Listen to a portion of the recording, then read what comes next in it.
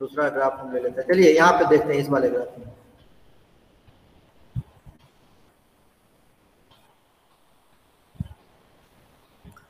D यहाँ पे एक वर्टेक्स डी है। इस वर्टेक्स से जो एज निकल रहा है, वो किस वर्टेक्स पे जा रहा है? डी वर्टेक्स से जितना भी एज निकल रहा है, जैसे ये पहला एज ये निकल रहा है, दूसरा एज ये निकल रहा है, तीसरा एज ये निकल रहा है, किस वर्टेक्स पे जा रहा है वो? A B E A B E तो डी का एडजेसेंट हो जाएगा, इस डी वाले वर्टेक्स का एडजेसेंट हो जाएगा ए बी ई ठीक है? हम कहेंगे कि डी का एडजेसेंट सी होगा क्या? तो नहीं होगा, क्योंकि ए और सी सॉरी डी और सी एक दूसरे के थ्रू कनेक्टेड नहीं है, ये डायरेक्टली कनेक्टेड नहीं है। तो जो डायरेक्टली कनेक्टेड होगा, वही नेबर होगा उसका। नेबर मतलब पड़ोसी होगा उसका, है ना? अगर हम कहेंगे एफ़ का एडजेसेंट तो एफ़ का कोई भी एडजेसेंट नहीं है। क्यों? क्योंकि ये किसी से भी जुड़ा हुआ नहीं है। ठीक है?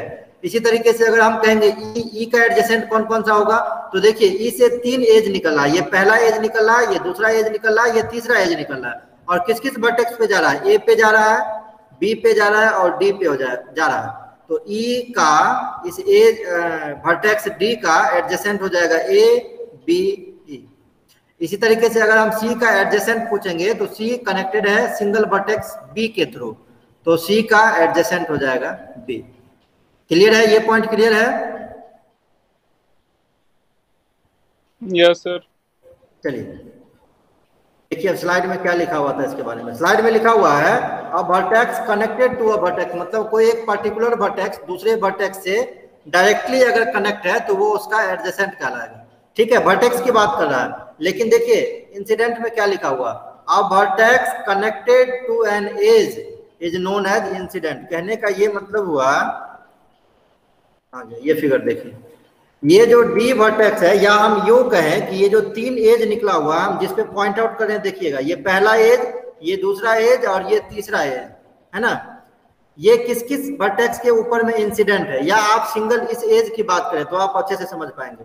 अगर आप इस एज की बात करें तो किस किस वर्टेक्स के थ्रू जुड़ा हुआ है ये? बी और सी और बी और सी के थ्रू तो बी और सी पे वो इंसिडेंट है। मतलब उसका स्टार्टिंग पॉइंट और एंडिंग पॉइंट जो होगा ना उसी को हम इंसिडेंस पॉइंट भी कहते हैं। तो इस एज का स्टार्टिंग और एंडिंग पॉइंट बी और सी है मतलब बी और सी वर्टेक्स से कनेक्टेड है। तो ये एज जो है वो इंसिडेंट हो जाएगा वर्टेक्स बी पे और सी पे। अगर हम इसकी बात करेंगे तो ये एज इंसिडेंट है वर्टेक्स ए पे वर्टेक्स ई पे। अगर हम इस एज की बात करेंगे तो ये एज इंसिडेंट है वर्टेक्स ई पे और वर्टेक्स बी पे। यही बात था बस आया समझ में दोनों में अंतर कि नहीं आया? यस सर सर यहाँ पे मल्टी एजेज है ना ई और डी और फिर ए और ई के बीच में? हाँ मल्टी एजेज है, लेकिन ये पिक्चर जो है ना, ये डीप लाइन से सिर्फ़ पिक्चर में बता दिया है, लेकिन स्टूडेंट चूँकि समझ नहीं पाएगा, इसलिए जब आप कॉपी में लिखेंगे ना तो यहाँ पे डबल लाइन डाल दीजिएगा यहाँ पे भी और यहाँ पे भी। हम आपको कल बताए हुए थे, ये साइड में देखिए, सबका डिग्री लिखा हुआ है, ठीक है? ए का डिग्री लिखा हुआ है, चार।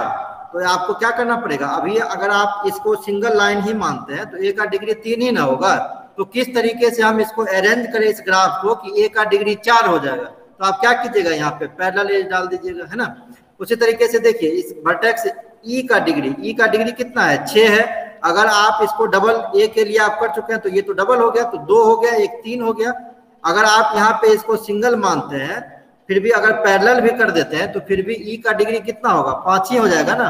दो दो, चार, एक, पाँच। काम तो बना नहीं, क्योंकि ये छह दिया हुआ है। तो इसीलिए अगर ई को कहेगा ई का डिग्री अगर सिक्स दे रखा है तो आप क्या करेंगे? ई के ऊपर में अगर यहाँ पे आप लूप चला दें तो लूप ट्वाइस काउंट हो जाएगा तो दो ये हो गया एक तीन हो गया एक चार हो गया इसको पैरेलल बना चुके हैं तो चार दो छह हो जाएगा है ना? इसके अकॉर्डिंग आपको ग्राफ में मॉडिफाई करना। आप कर लीजिएगा जब आप यहाँ जितना भी डिग्री दिया हुआ उसके अकॉर्डिंग आप ग्राफ को रीअरेंज कर लीजिए। सर ई के ऊपर लूप चलाएँगे तो सेवन हो जाएगा ना? कैसे सेवन हो जाएगा? इसको हम पैरेलल एजेज नहीं बनाने के लिए बोल रहे हैं ना। ओके सर चलिए जैसे भी हो आप अरेंज कर लीजिएगा ठीक है ना? आप जिस तरीके से करें आप दूसरा तरीका भी कोई इंप्लीमेंट कर सकते हैं। अगर आप इसको पैरेलल बनाएँगे ना और लूप नहीं चलाएँगे तो फिर पाँच ही ना होगा। ये दो हो गया एक तीन हो गया और ये दो पाँच हो गया। पाँच ही दिया हुआ है? नहीं छह दिया हुआ है ना एक। छह कैसे आएगा फिर? तब लूप ही चलाना पड़ेगा ना, लोप चलेगा तो दो ये हो जाएगा, दो दो चार हो जाएगा, ये पाँच, एक छह हो जाएगा, है ना? ये हम बात कर रहे हैं और कोई दिक्कत?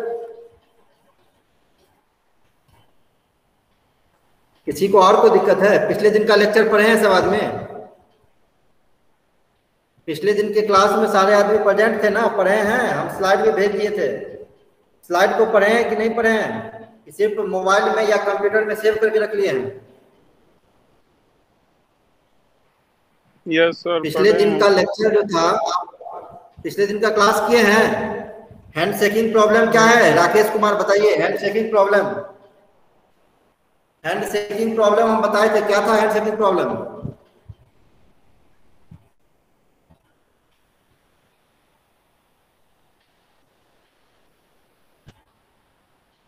Nikhil Raj बताइए हैंड शेकिंग प्रॉब्लम क्या था?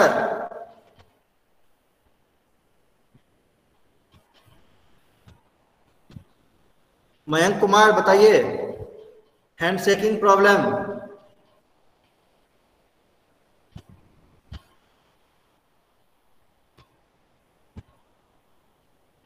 Ayush hand shaking problem क्या था, बताइए।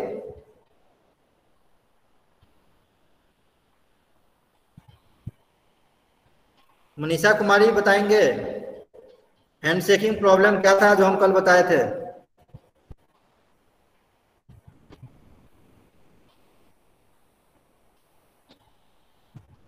कुमोद बताइए क्या था hand shaking problem sum of the degree of the vertices equal to two times edges हाँ।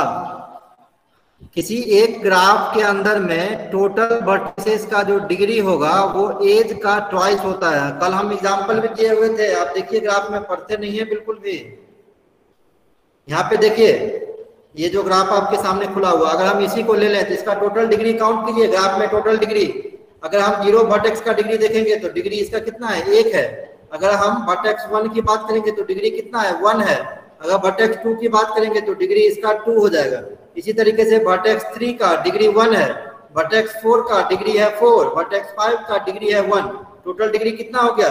एक, दो दो दो, चार, एक, पाँच, चार, नौ, एक, दस। टोटल डिग्री इस ग्राफ का हो गया दस। तो हैंड शेकिंग प्रॉब्लम ये कहता है कि जितना टोटल डिग्री होगा ना, वो एज का ट्वाइस होगा। है ना? एज का ट्वाइस कहने का मतलब इसमें एज कितना है total one two three four five five edge है। फाइव का ट्वाइस करेंगे टेन है ना? तो डिग्री इसका टेन दोनों आपस में इक्वल होगा। मतलब total degree is equal to two into edges होता है। ये हैंड शेकिंग प्रॉब्लम लेकिन एक इसमें बात लिखा हुआ था। क्या बात था? इसमें एक स्पेशल चीज़ बताया हुआ था। क्या बात था बताइए तो कुमोद। किस ग्राफ के लिए एप्लीकेबल है ये? Undirected graph हाँ ये अनडायरेक्टेड ग्राफ में सिर्फ़ होगा। डायरेक्टेड ग्राफ में इसको हम नहीं कह सकते हैं। ठीक है ना? अच्छा डायरेक्टेड ग्राफ में इसको क्यों नहीं कह सकते हैं? बताइए तो। इसका क्या रीजन है? सिर्फ़ अनडायरेक्टेड ग्राफ में क्यों होगा? डायरेक्टेड ग्राफ में क्यों नहीं होगा?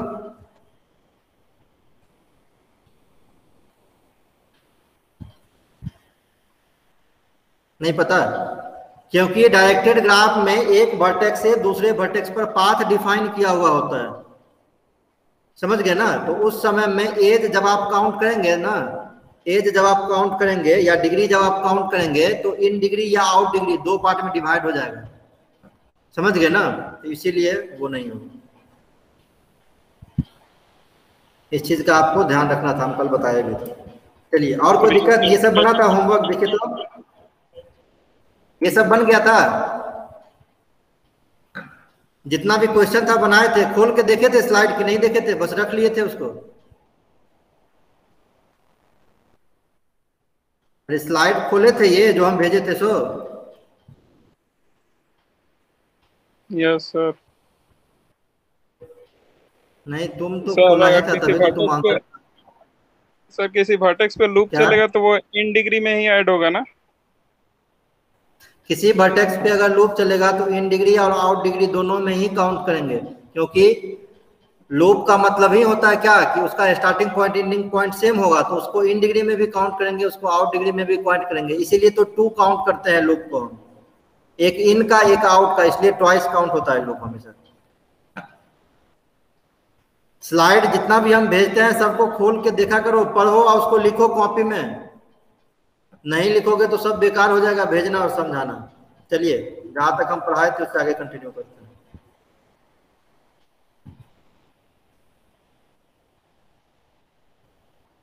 नेक्स्ट नंबर आपका टॉपिक है रेगुलर ग्राफ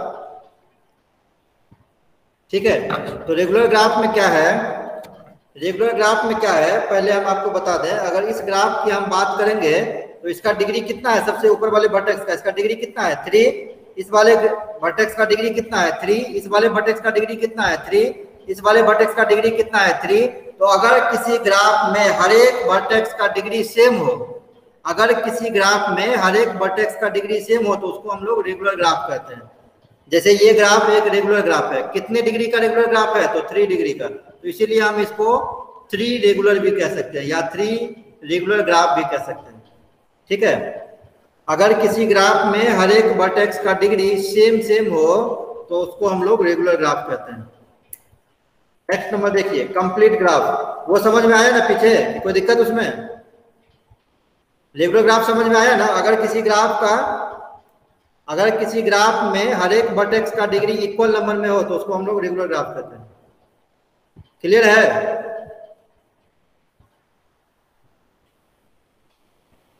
अरे समझ में आ रहा है कि नहीं?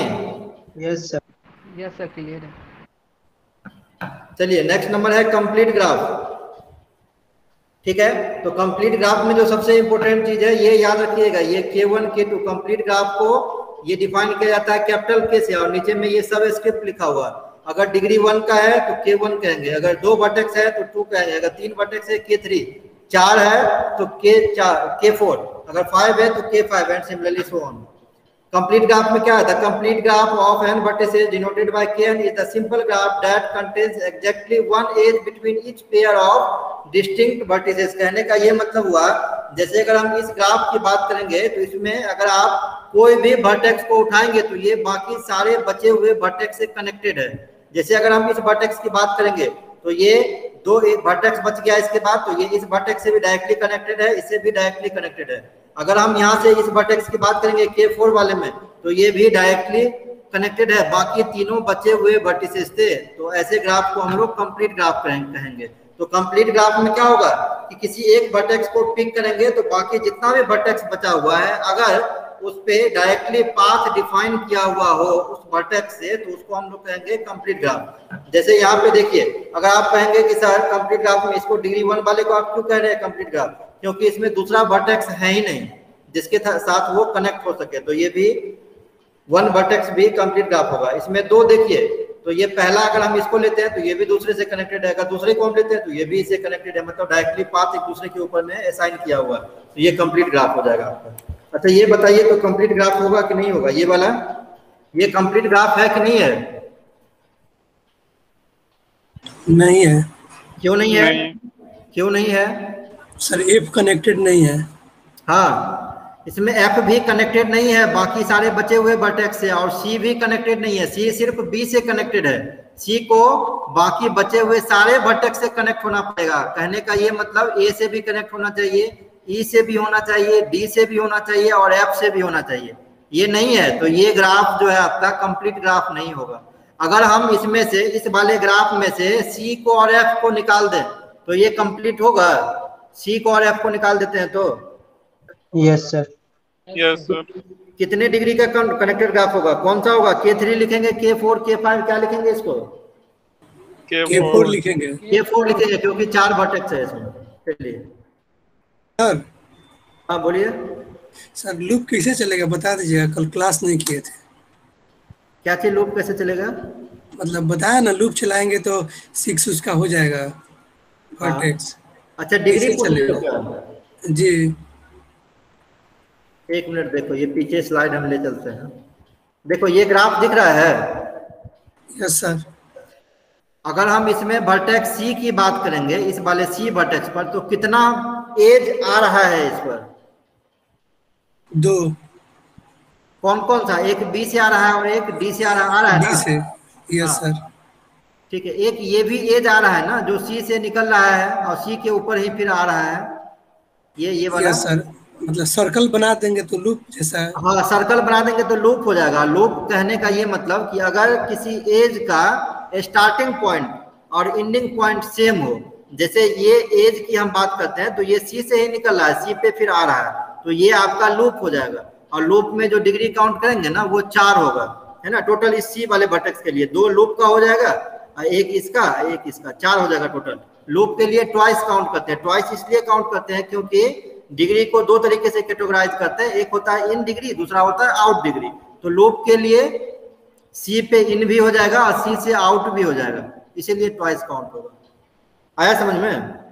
यस सर सर्कल बना देंगे लूप के लिए. रेगुलर ग्राफ कंप्लीट ग्राफ समझ गए. नेक्स्ट नंबर है साइकिल साइकिल क्या होता है बताइए तो? आप लोग पढ़े होंगे पीछे कल के क्लास में कल जो हम स्लाइड भेजे थे बोले थे पढ़ लीजिएगा थोड़ा सा। साइकिल क्या होता है बताइए तो? जहाँ से स्टार्ट हुआ सर वहीं पे क्या चाहिए साइकिल मतलब?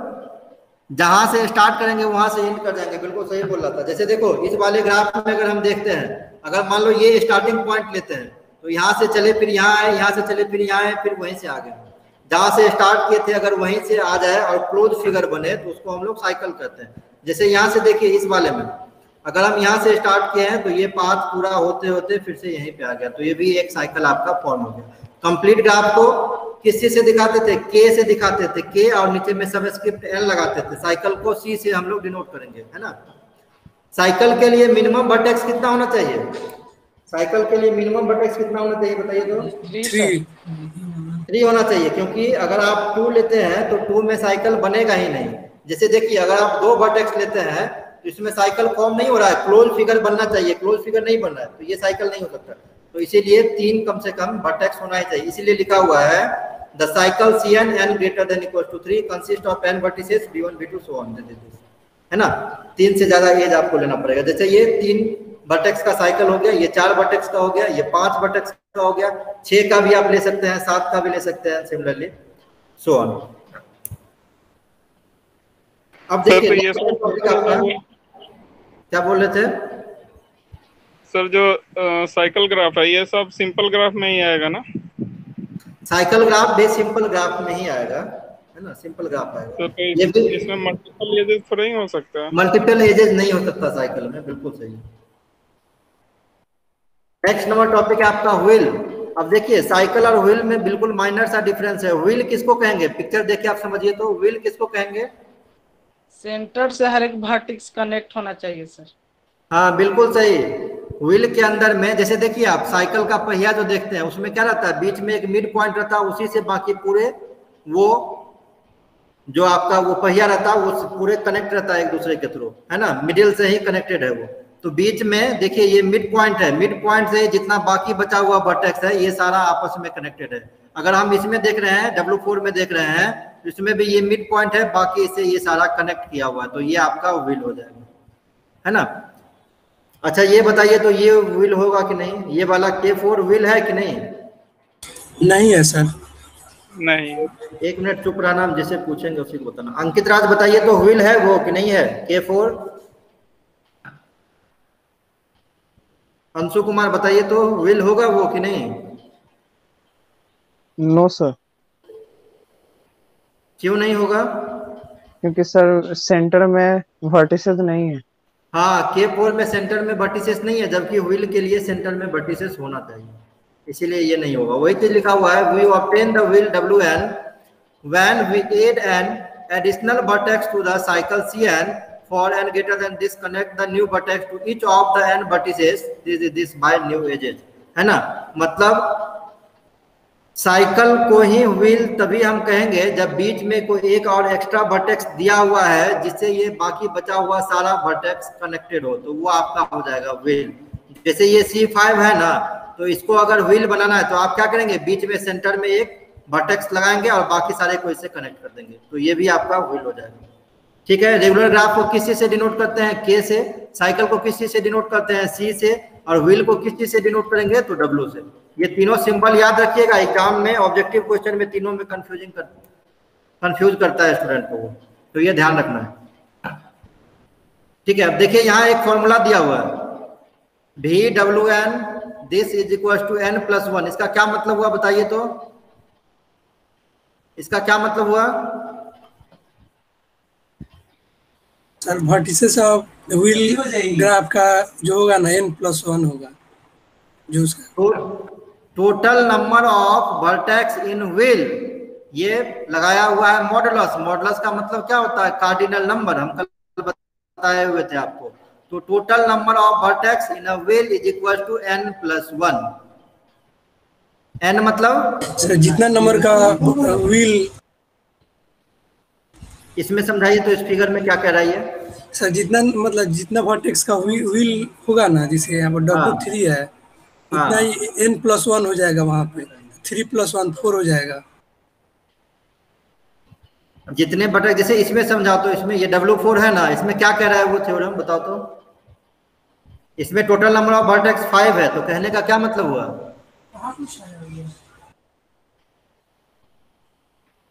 इसमें कहने का क्या मतलब हुआ? देखो, ये व्हील कितना का है? चार का है, क्योंकि हम मीड को काउंट नहीं करेंगे।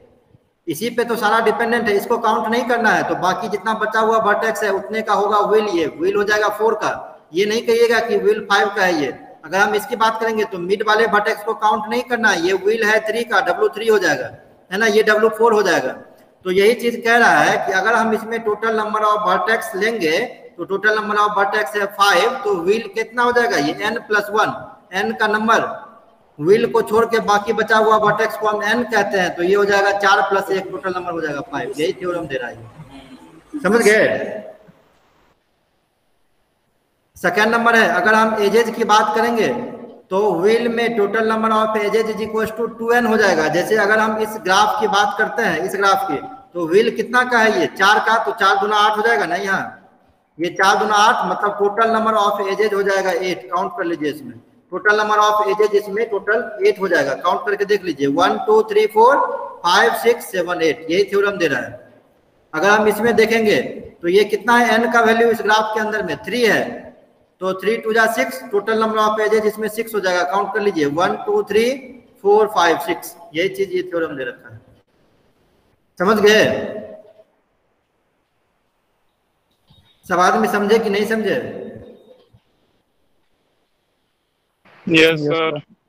इस दोनों का मतलब समझ गए क्या लिखा हुआ है?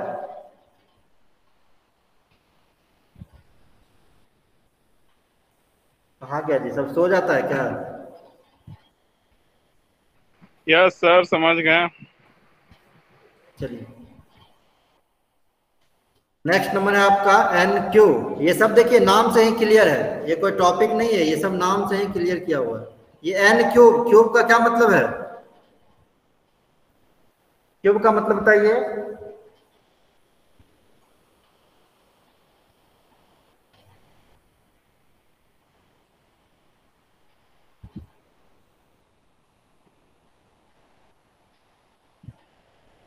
बताइए क्यूब का क्या मतलब होता है?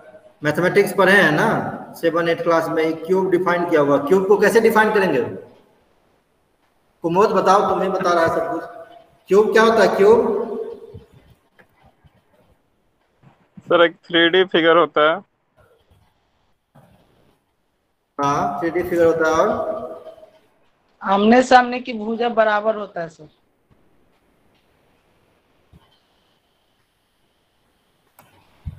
क्यूब एक थ्री डायमेंशनल फिगर होता है जिसमें छह फेस होता है। यही ना बोलेंगे?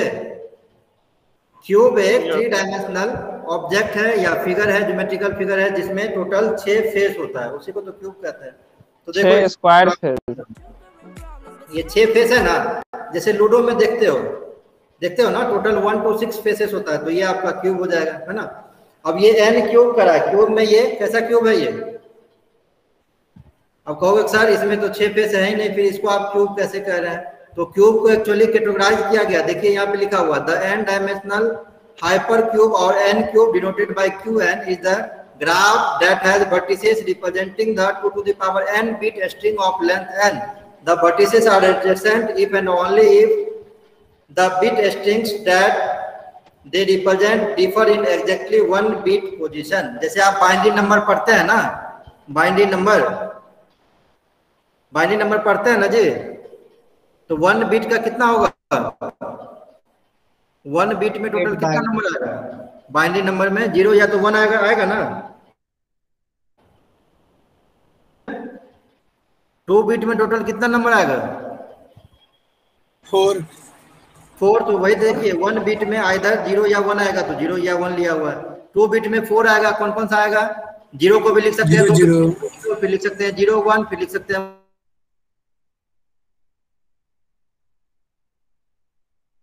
मतलब हो गया टू और वन वन मतलब हो गया फोर तो ये फोर है ना? फोर क्यूब हो जाएगा ये क्यू टू लिखेंगे इसको दो बिट का। ऐसा ही अगर हम तीन में देखेंगे तो कितना हो जाएगा? टू की पावर क्यू मतलब आठ हो जाएगा। Zero zero zero zero zero one zero one one one zero zero and so on अगर चार बीट में कहेंगे तो टोटल कितना हो जाएगा? सोलह हो जाएगा। होगा ना? दो की पावर चार सोलह नहीं होगा? सर ठीक है तो यही चीज़ लिखा हुआ है। लिखा हुआ है, ये एक ग्राफ होता है that has the vertices representing the two to the power n bit string of length n ये एक ऐसा ग्राफ है, जिसमें हम टू की पावर एन बिट स्ट्रिंग में हम इसके वर्टेक्स को रिप्रेजेंट करते हैं। अगर ये दो का है तो टोटल चार वर्टेक्स हो जाएगा। अगर एक का है तो टोटल दो वर्टेक्स हो जाएगा, है ना? टू की पावर वन टू हो जाएगा। दो की पावर दो करेंगे तो चार हो जाएगा। दो की पावर तीन करेंगे तो ये टोटल आठ वर्टेक्स हो जाएगा। दो की पावर चार करेंगे तो सोलह वर्टेक्स हो जाएगा एंड सिमिलरली सो ऑन ये आपका हो जाएगा एन क्यू चलिए नेक्स्ट है, ये सबसे इंपॉर्टेंट है बाय पर टाइट ग्राफ लेकिन बाय पर टाइट ग्राफ को पढ़ने से पहले आपको थोड़ा बहुत बाय पर टाइट ग्राफ को पढ़ने से पहले आपको थोड़ा बहुत सेट का कॉन्सेप्ट याद करना पड़ेगा। सेट थ्योरी याद है ना? सेट थ्योरी याद है ना? सेट में हम आपको एक चीज़ बताए हुए थे पार्टीशन ऑफ़ सेट याद है? पार्टीशनिंग करना सेट को? अगर मान लीजिए सेट ए है कैपिटल ए उसमें एक, दो, तीन, चार, पाँच एलिमेंट दिया हुआ है, उसको पार्टीशन किस तरीके से कर सकते हैं? बताइए तो।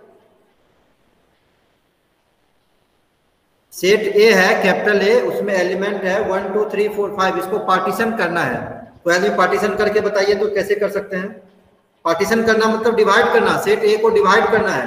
आप चाहे तो वन पार्ट में कर सकते हैं चाहे टू में कर सकते हैं थ्री में कर सकते हैं फोर में कर सकते हैं एंड सिमिलरली आप फाइव में भी कर सकते हैं है ना? पार्टीशनिंग मतलब क्या होता है बताइए तो?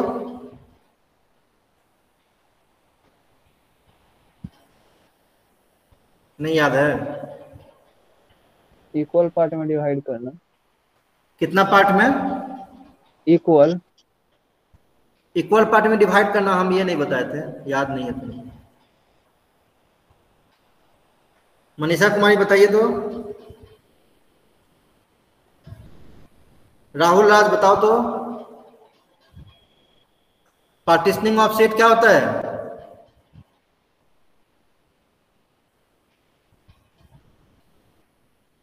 राकेश कुमार बताइए तो partitioning of set.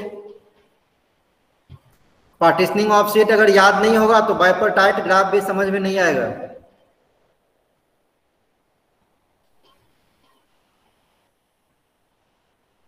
अरे हाँ नहीं कुछ तुम लोग बोलता ही नहीं है गधा है सर जानते हो तो बोलो कि हाँ सर याद है नहीं है तो नहीं याद है बात खत्म हो गई।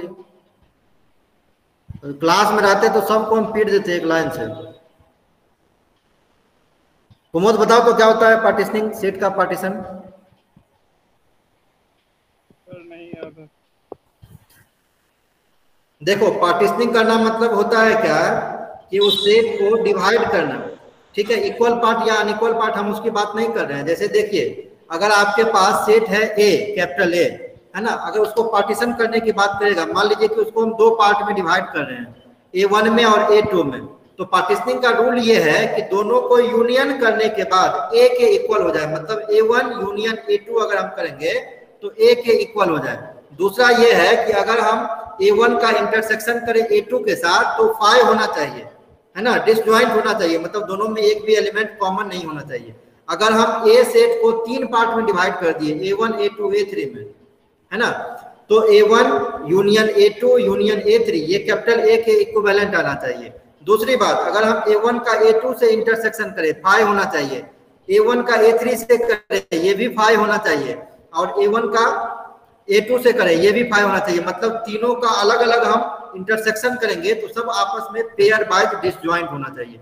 कोई भी एलिमेंट आपस में मिलना नहीं चाहिए। उसी को हम कहते हैं पार्टिशनिंग अगर हम चार पार्ट में भी करेंगे ना ए वन का पहले ए टू के साथ देखोगे फाइव आना चाहिए। फिर ए वन का ए थ्री के साथ फाइव आना चाहिए। ए वन का ए फोर के साथ फाइव आना चाहिए। फिर टू का थ्री के साथ फाइव आना चाहिए। फिर थ्री का फोर के साथ फाइव आना चाहिए। है ना? ऐसे आपको इंडिविजुअली सबको देखना होगा। अगर सारा फाइव आ रहा है कहने का मतलब पेयर बाय डिसजॉइंट आ रहा है और A1, A2, A3, A4 चारों का यूनियन करने के बाद कैपिटल ए के इक्विवेलेंट आ रहा है। तो हम कहेंगे कि A1, A2, A3, 4 A का क्या है? पार्टीशन है। समझ में आया कि नहीं आया? यस सर चलिए अब अपने ग्राफ के ऊपर में आ जाते हैं पार्टीशनिंग समझने में। जैसे देखिए यहाँ पे ये ग्राफ ही बनाया लेकिन ग्राफ जो है ना, ये मैपिंग के थ्रू दिखाया हुआ है, ठीक है? तो बाइपोटाइड ग्राफ का डिफिनेशन जो अभी हम पीछे बात कर रहे थे, वही चीज़ बताया हुआ है। Simple graph G is equal to V comma E is called bipartite if V can be partition into V one and V two V one intersection V two is equal to five such that every edge in the graph connect a vertex in V one and a vertex in V two कहने का ये मतलब है कि अगर आप किसी एक ग्राफ को दो पार्ट में डिवाइड करते हैं तो उसको हम बाइपरटाइट ग्राफ तभी कहेंगे जब जो दो पार्ट में आप v1 v2 में डिवाइड कर, दोनों का इंटरसेक्शन फाइव आना चाहिए। दोनों का इंटरसेक्शन फाइव आना चाहिए, तभी उस ग्राफ को हम बाइपरटाइट ग्राफ कहेंगे अदरवाइज़ नहीं कहेंगे। ठीक है, जैसे देखिए, एक एग्जांपल के थ्रू हम आपको समझा रहे हैं। जैसे देखिए तो यहाँ पे ध्यान दीजिए, ये ग्राफ है, दिख रहा सबको? ये वाला ग्राफ ये साइकिल ग्राफ है कि कंप्लीट ग्राफ है? कौन सा ग्राफ है ये? साइकिल साइकिल ग्राफ है। कितना टोटल वर्टेक्स है इसमें? टोटल वर्टेक्स कितना है इसमें?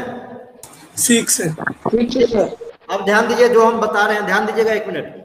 अगर हम इसको दो पार्ट में पार्टीशन कर देते हैं इस ग्राफ का मान लीजिए नाम हम दे दिए जी वन सॉरी जी अब इसको पार्टीशन करना है। मान लीजिए दो पार्ट में हम पार्टीशन कर रहे हैं जी वन में और जी टू में ठीक है? तो इस ग्राफ जी को हम बाइपरटाइट ग्राफ तभी कहेंगे जब इसके सारे वर्टेक्स को हम सारे वर्टेक्स को हम दो अलग अलग पार्ट में डिवाइड करते हैं। जैसे इसमें V1 से V6 तक लिखा हुआ है तो पहले वाले ग्राफ के अंदर में V1, V5, V3 ले लिए।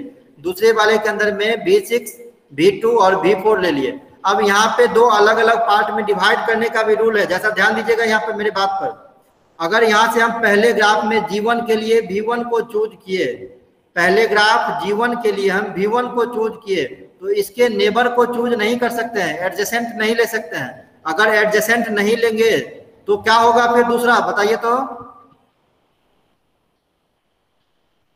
वी फाइव भी थ्री भी हो सकता है और भी फाइव भी हो सकता है। हो सकता है ना?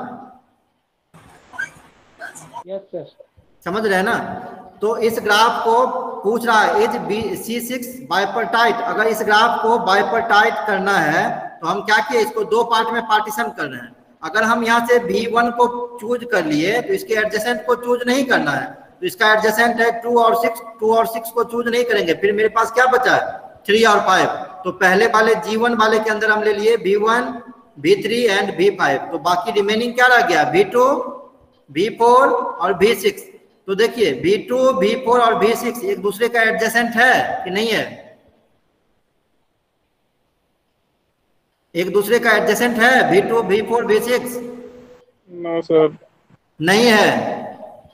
B two B four B six एक दूसरे का एडजेसेंट नहीं है। तो ग्राफ को पार्टीशन करने में पहला चीज़ ये ध्यान रखिएगा कि किसी एक वर्टेक्स को हम चूज़ कर लेते हैं तो उसी सेट में हम मतलब उसी ग्राफ के अंदर में हम उसका एडजेसेंट नहीं ले सकते।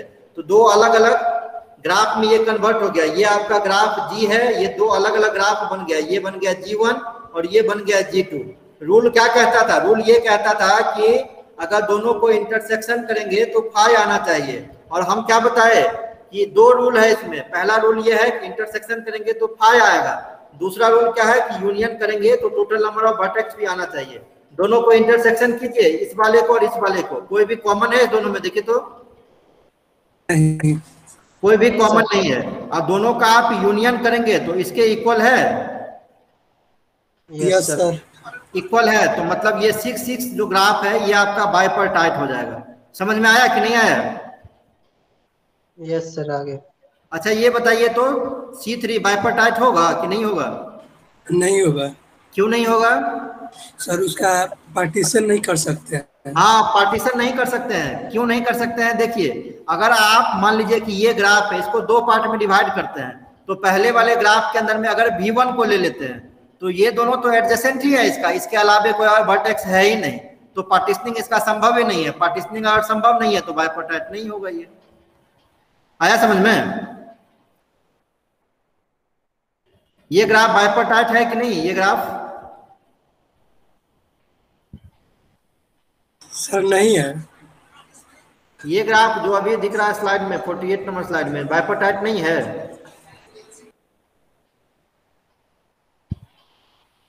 अभी आपको इसमें समझ नहीं आ रहा क्योंकि मैपिंग में बनाया हुआ है।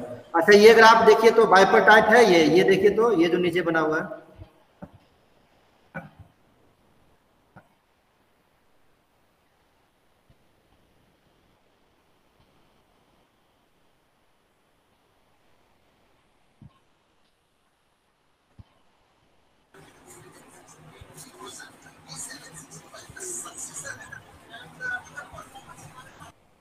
होगा कि नहीं? बताओ जल्दी।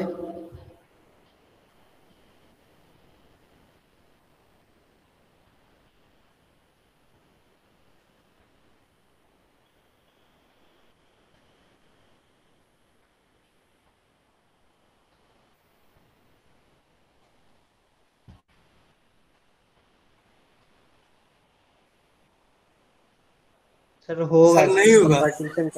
नहीं होगा सर। नहीं होगा, क्यों नहीं होगा?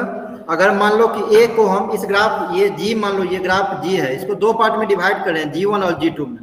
पहले वाले में जी वन में हम अगर ए को ले रहे हैं तो ए का एडजेसेंट कौन कौन सा है?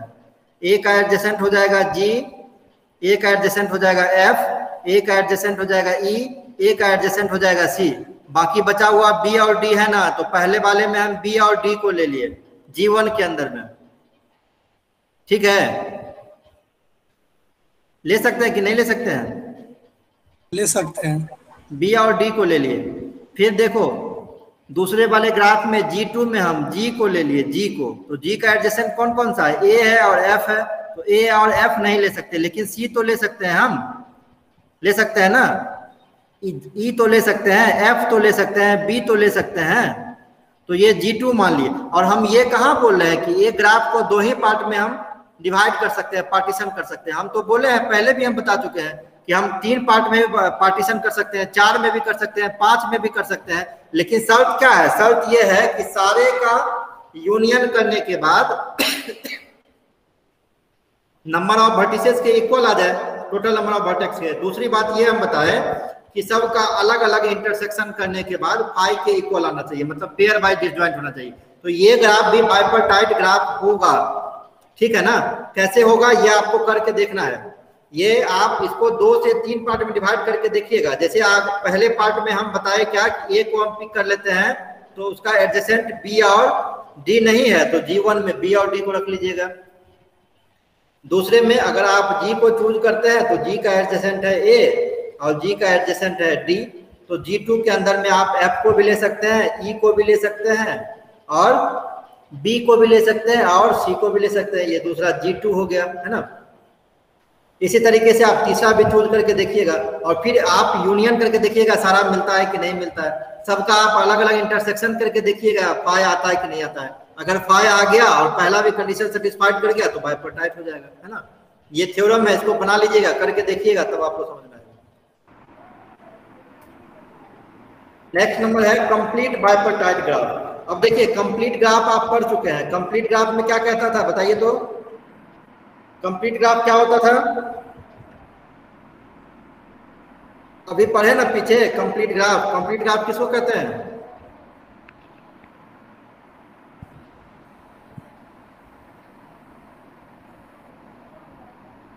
सब भूल गया तुरंत। अभी पीछे पढ़े थे ना कंप्लीट ग्राफ कंप्लीट ग्राफ क्या होता है?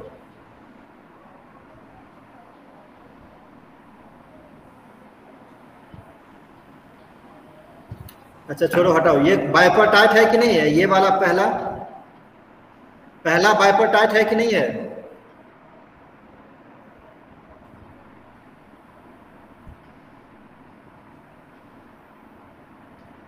सर है। है सर। और दूसरा?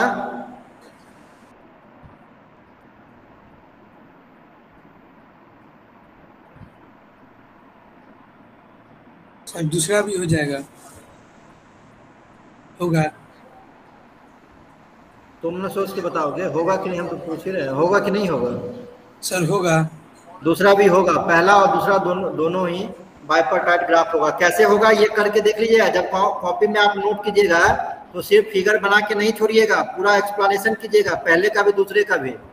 जैसे इस ग्राफ का नाम दे दीजिएगा जी फिर आप जी वन लिखिएगा जी टू लिखिएगा फिर लिखिएगा G is equal to G one union G two and G two G one intersection G two is equal to five so G is a bipartite graph इसीलिए इसी तरीके से आप इसको भी कर लीजिएगा।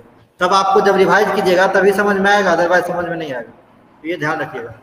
कंप्लीट बाइपोटाइट ग्राफ क्या होगा? एक ऐसा ग्राफ जो कंप्लीट ग्राफ भी हो और बाइपोटाइट ग्राफ भी हो, दोनों के कॉम्बिनेशन से मिलकर बना हो उसी को हम लोग बाइपोटाइट ग्राफ कहते हैं। देखिए, पीछे अभी हम तुरंत पढ़े हैं।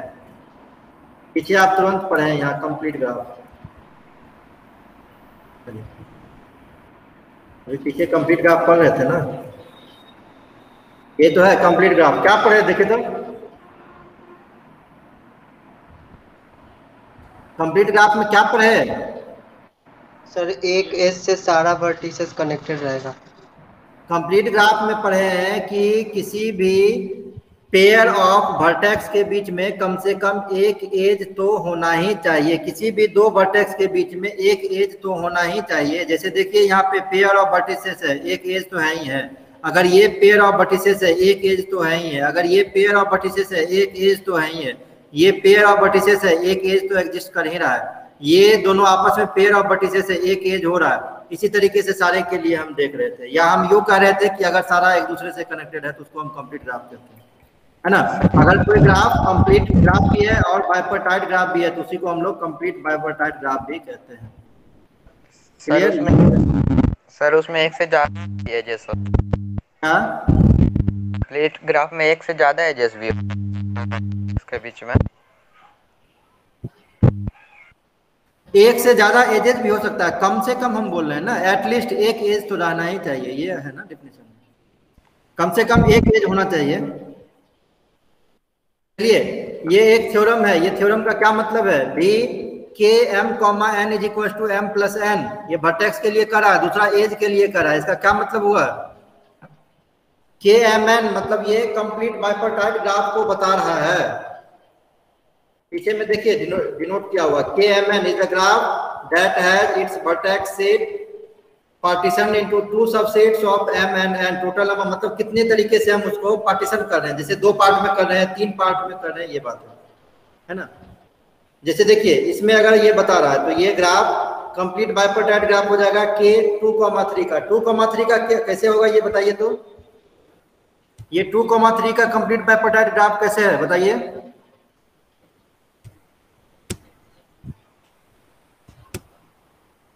हमरा सर एक दो महीना सर एक सर्कल में दो जाएगा एक सर्कल में तीन जाएगा। एक सर्कल में दो जाएगा एक सर्कल में तीन जाएगा। और इसमें? सर इसमें थ्री थ्री होगा। हाँ इसमें दोनों इक्वल हो जाएगा थ्री थ्री इसीलिए थ्री थ्री लिखा हुआ। सब आदमी समझ रहे हो ना? जैसे देखो यहाँ से समझोगे। जैसे हम इस ग्राफ के लिए बात कर रहे थे तो हम इसको पहले बोले ना कि अगर हम ए को देख रहे हैं तो ए का एडजेसेंट है जी एफ़ ई और सी तो बाकी बचा हुआ कौन कौन सा रह गया? बी बच गया और डी बच गया। तो पहले सर्कल में क्या गया? पहले जीवन के अंदर में दो गया ना? बी और डी तो वो पहले के लिए हो जाएगा। फिर दूसरे ग्राफ में अगर हम जी के लिए देखेंगे तो जी का एडजेसेंट कौन सा है? ए है और जी का एडजेसेंट है डी है ना? तो दूसरे में फिर क्या जाएगा? जी टू में एफ़ चला जाएगा बी चला जाएगा ई चला जाएगा और सी चला जाएगा। टोटल कितना चला गया? चार ना? तो दूसरे में चार हो गया, है ना? तो इसी तरीके से यहाँ भी लिखा हुआ है। यहाँ भी टू कॉमा थ्री कहने का मतलब अगर हम इस वर्टेक्स को पकड़ लेते हैं तो इसका एडजेसेंट कौन सा होगा? ये होगा ये होगा ये होगा। इसमें ये चला जाएगा, है ना? मतलब पहले ग्राफ के अंदर में ये दोनों हो गया, और जितना बाकी बचा, ये दूसरे में चला जाएगा, है ना? तो टू कॉमा थ्री हो गया। तो ये एम का जो नंबर है, ये जो पहला नंबर है, वो एम को डिनोट कर रहा है, ये दूसरा नंबर जो है, ये एन को डिनोट कर रहा है। उसी तरीके से ये पहले में, ये एम एन का वैल्यू यहाँ पे के थ्री थ्री में दोनों इक्वल ही नंबर में हो रहा है। चलिए, अब थ्योरम समझते हैं। क्या दिया हुआ है? कि total number of vertex in complete bipartite graph total number of vertex in complete bipartite graph is equal to m plus n मतलब पहले ग्राफ के अंदर में टोटल नंबर ऑफ़ वर्टेक्स जितना है, फिर दूसरे ग्राफ के अंदर में जितना टोटल नंबर ऑफ़ वर्टेक्स अगर हम दोनों को जोड़ लें तो total number of vertex in complete bipartite graph निकल जाएगा। जैसे कहने का ये मतलब इसमें m का नंबर कितना है? टू है और n का नंबर कितना है? थ्री है। अगर हम दोनों को एड ऑन कर देते हैं तो इस ग्राफ का टोटल नंबर ऑफ़ वर्टेक्स निकल जाएगा। दोनों को जोड़ दीजिए। तीन, दो, पाँच। इस ग्राफ का टोटल नंबर ऑफ़ वर्टेक्स पाँच होगा। इसी तरीके से आप इस दोनों में जोड़ दीजिए। तीन कॉमा तीन। छह हो जाएगा। दोनों को जोड़ देंगे तो टोटल नंबर ऑफ़ वर्टेक्स हो जाएगा इसमें छह। एक, दो, तीन। एक, दो, तीन। टोटल नंबर ऑफ़ वर्टेक्स छह हो जाएगा। यही चीज़ यहाँ पे थ्योरम दिया हुआ ये वर्टेक्स के लिए कर रहा है। इसी तरीके से एज के लिए कर रहा है। एज के लिए कर रहा है कि आप गुना कर दीजिएगा। एम और एन को। जैसे इस ग्राफ के अंदर में एम का वैल्यू टू है और थ्री है, दोनों को गुना कर दीजिए, कितना हो जाएगा छह। एज काउंट कर लीजिए, इसमें छह ही होगा। One two three four five six इसमें कितना एज हो जाएगा? टोटल नाइन हो जाएगा। काउंट कर लीजिएगा। टोटल एज नाइन हो जाएगा, है ना? तो ये फॉर्मूला हो गया E K m n equal to m into n है ना? यहाँ पे एक और चीज़ लिखा हुआ है कि अगर वो रेगुलर ग्राफ होगा ना तो एम एन का वैल्यू इक्वल ही होगा। ये एक रेगुलर ग्राफ है तो यहाँ एम एन का वैल्यू इक्वल होगा। ठीक है तो जितना नोट डेट है, इसको आप रेड पेन से यहाँ पे स्टार बना लीजिएगा। जितना ये जैसे अभी नोट डेट लिखा हुआ है, यहाँ पे भी दो तीन स्टार लगा लेना। है ऑब्जेक्टिव क्वेश्चन में क्या करेगा? यहाँ पे ये लिख देगा, इसके बाद फिल इन ब्लैंक्स दे देगा और ऑप्शन दे देगा ए बी सी डी करके चार ऑप्शन तो ये आपको खुद से वहाँ पे फिल करना है। ये नोट डेट है, पीछे यहाँ पे फिर से नोट डेट था। अभी देखिए, पीछे एक और है, ये नोट डेट इसको भी आप क्या करेंगे? इस पे रेड पेन से नोट डेट लिखेंगे और तीन चार स्टार यहाँ पे बना देंगे। ठीक है ना? ताकि एग्ज़ाम के समय में आपको रिवाइज करने में आसानी हो। तो आज हम कवर किए हैं स्लाइड नंबर 51 तक। 51 तक आप पूरे कॉपी में नोट कर लीजिएगा।